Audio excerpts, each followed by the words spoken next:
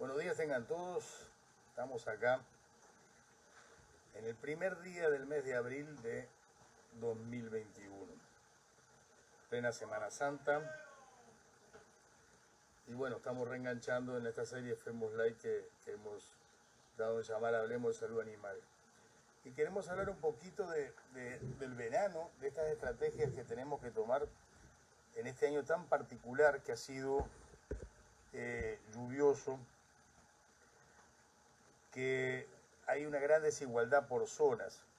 Hay un verano muy desigual en todo el país. Generalmente nosotros nos planteamos tradicionalmente una, una, un, una costa pacífica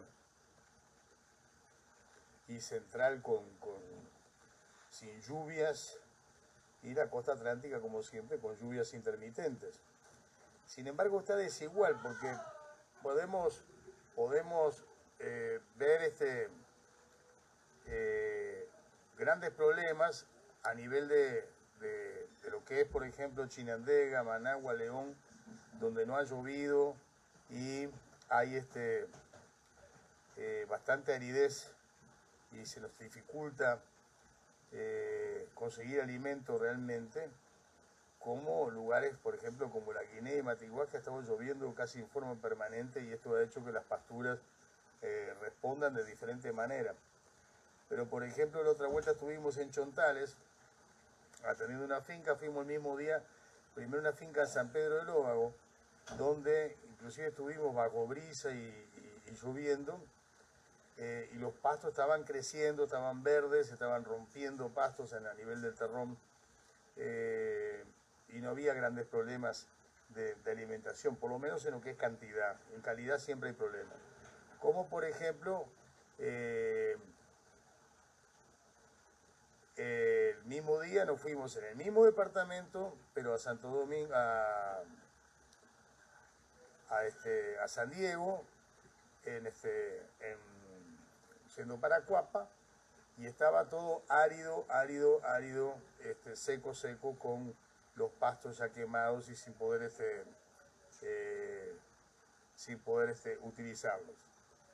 Y es el mismo departamento, entonces tenemos un comportamiento muy desigual a nivel de, de lluvias en, este momento. En Rivas, por ejemplo, en Cárdenas hemos ido este verano dos o tres veces, siempre bajo lluvia. Este, San Juan del Sur, que estaba con muy poca lluvia. Carazo, también comportamiento desigual. Eh, por lo tanto, tenemos un grave problema de desarrollo de, de, de, de pasturas. Este,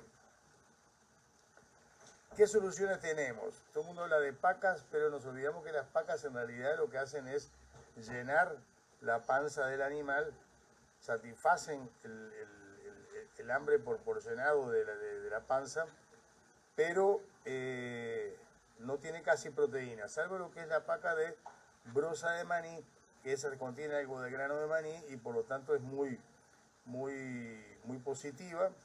Este, el maní anda en un 50% proteína, entonces esa paca con brosa de maní es muy buena para alimentación. Los que han hecho silos, recuerden que el silo de maíz, por ejemplo, es muy bueno, no porque aporte proteína, aporta energía al ganado, que el ganado energía. Esa energía también la podemos suplir con, con melaza. Eh, y recuerden que la poca proteína que tienen las gramíneas cuando yo ensilo, esa degradación, esa fermentación que tiene, lo que hace es bajar también el nivel de proteína a nivel de, de, de silo. Por lo tanto, no estoy dando un buen aporte proteico. Sí estoy llenando la panza. Eh, una solución es el aporte de melurea, hacer una mezcla de melaza con urea. La idea es la proporción de que cada 5 galones de melaza yo voy a poner una libra de urea que se disuelve previamente en agua hirviendo, eso se mezcla bien y se le da y se, al ganado todos los días. Se tiene que preparar día por día para darle al ganado, no se puede dejar hacer una preparación para 3-4 días, ¿por qué? Porque sedimenta la urea y se puede volver tóxica. Si yo meto la pata, el antídoto es muy sencillo, tengo que tener vinagre blanco y o si la vaca empieza con problemas respiratorios y a babiar, quiere decir que está intoxicada con urea, le voy a dar 250 cc de vinagre blanco por boca. La siembra es importante porque en aquellos lugares que se han mantenido las lluvias, yo puedo empezar a sembrar. Es necesario tener un pluviómetro en la finca para ir midiendo la cantidad de lluvia que hay. Por eso, por ejemplo, para plantar leguminosas, preciso 150 milímetros de agua. Con eso ya puedo plantar caupí, puedo plantar canavaria, puedo plantar terciopelo, eh, sin problema.